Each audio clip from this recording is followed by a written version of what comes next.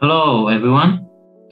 My name is Alhamzah Fadl Abbas, and today I'm going to talk about understanding research philosophy, which is part of uh, master's uh, students and also for PhD students. Probably these are the fundamental for every researcher and every PhD student should know before he's starting uh, doing research or doing his study, his uh, uh, postgraduate study. Okay, so uh, today uh, session it will divide it two parts. Okay, so just let me share the slides before I start explain. Okay, so as you see, we have two parts: type of philosophy two sets of extreme major philosophies and summary. So I I will try to divide the two. Uh, uh, uh, uh, I will make it two parts actually. The session. Okay, the first part, which we will concentrate on a type of philosophy and two sets of extreme. Okay, this is will be uh, video number one, and video number two will be major philosophies with summary. All right, good. So uh, I decided to do that so to I will make it much easier for you and not very long. So it will be a short session and hopefully it will be useful for all of you. Okay, great. So let's start. First of all, we will go to type of philosophy. Okay, so uh, so these workshop objectives we will concentrate about to know what is philosophy, what is research philosophy, what is objectivism and subjectivism, and understand the major philosophies. Okay, so these are the main uh, uh, objectives for this workshop or for this uh, session. Okay, great. Okay, let's go. Let's move on. Okay, what is philosophy? So the study or the most uh, we have to understand what's philosophy mean. So the uh, the philosophy you can say is the study of the most general and abstract feature of the world and the category and categories with which we think. Okay, in philosophy, the concept with which we approach the world themselves become the topic of inquiry. So philosophy is something that we uh, how we leads to the knowledge, how we interpret knowledge, and how we understand that knowledge.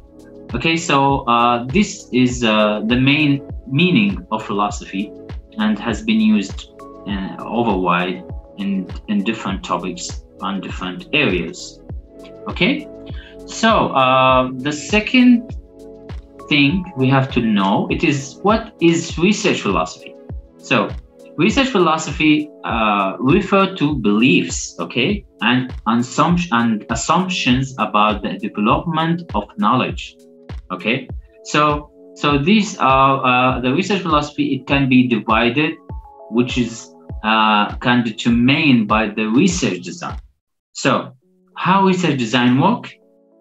It's work by understanding the, the epistemology assumption which is mean the valid and legitimate knowledge, plus ontological assumption, which is talking about the nature of reality, and axiological, which is the value and the ethics of decision making. Okay, all these combined together, they can uh, uh, determine this research design. Okay, which is part of the research philosophy. Great. Okay, let's move on. Okay, so uh, this this uh, graph you can see it's developing your research philosophy as a reflexive process. As we see, we say that research philosophy it's depend on beliefs or and assumptions. Okay, and belief and assumptions lead to research design. So this uh, you can say a rectangle or upside down rectangle present all these together to understand the main reason of research philosophy and the reflexive process and how it uh, how it's work Okay, great.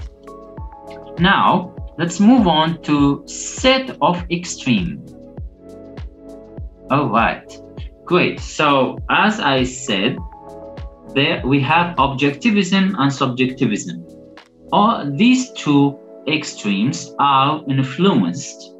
The, uh, they influence uh, the, the epistemology, ontology, and axiology, as I mentioned in the previous slide.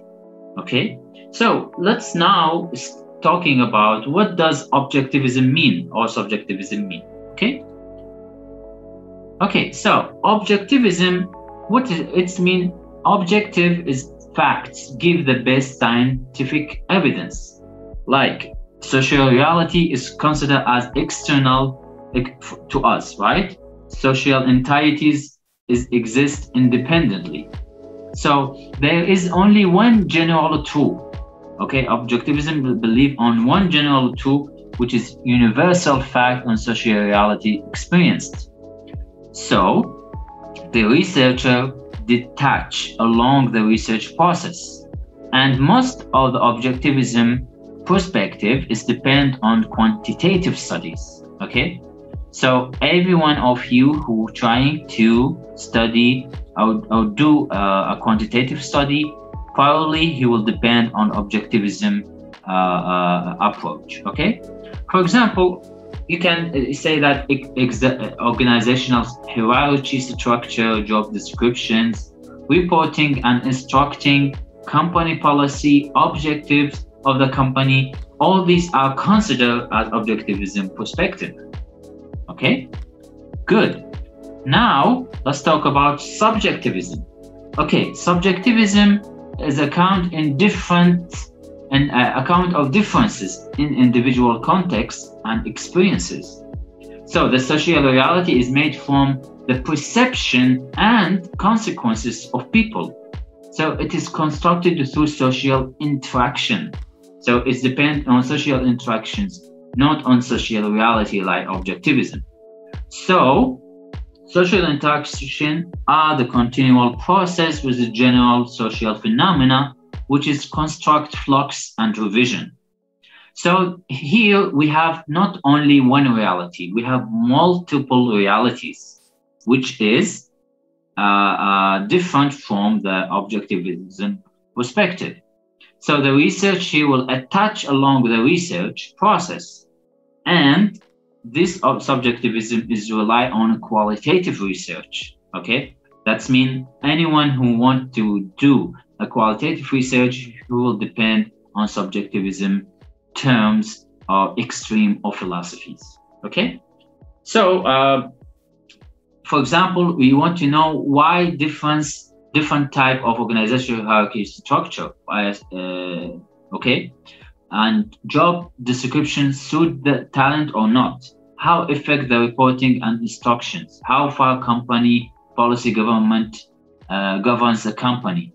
why different companies have different objectives. All these questions is considered as subjectivism and it's rely on qualitative uh, research. Okay. All right. So this table can make uh, a nutshell about this philosophical assumption as a multi-dimensional set of, uh, of continuums. So the assumption type we say we have ontology, as you see, epistemology, uh, axiology, and on the right side, you, you can see continuum with sub objectivism and subjectivism. So this is kind of comparison. So uh, ontology, it can depend on objectivism, subjectivism, epistemology, and ex, uh, uh, axiology as well. Okay.